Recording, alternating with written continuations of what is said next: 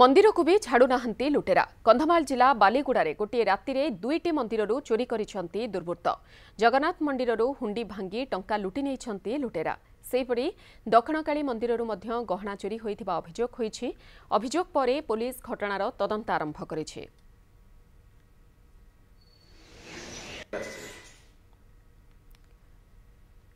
କନ୍ଧମାଳ ଜିଲ୍ଲା ବାଲିଗୁଡାରେ ଗୋଟିଏ ରାତିରେ ଦୁଇ ଦୁଇଟି ମନ୍ଦିରରୁ ଲୁଟେରା ଲୁଟ୍ କରିଛନ୍ତି। ଜଗନ୍ନାଥ ମନ୍ଦିରରୁ ହୁଣ୍ଡି ଭାଙ୍ଗି ଟଙ୍କା ଲୁଟି ନେଇଛନ୍ତି। ସେହିପରି ଦକ୍ଷିଣକାଳୀ ମନ୍ଦିରରୁ ମଧ୍ୟ ଗହଣା ଚୋରି ହୋଇଥିବା ଅଭିଯୋଗ ହୋଇଛି।